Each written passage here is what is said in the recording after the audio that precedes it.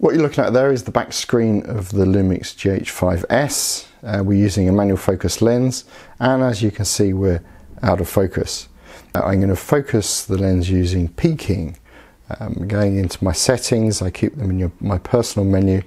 You can see I've got the peaking is on, I've got detect level is low and the display color is red. So just going back here in the normal non-magnified mode um, you can focus and you can see the peaking coming alive just there on, the moss and the leaves of the plant. Um, that's okay, but it's not very accurate. So we can move this focus area around using the joystick, magnify up this area. This is six times magnification, which is what all Lumix cameras have. And you can see there I can move the focus between different clumps of moss. But what's special about the GH5S is that we have 20 times magnification with manual focusing.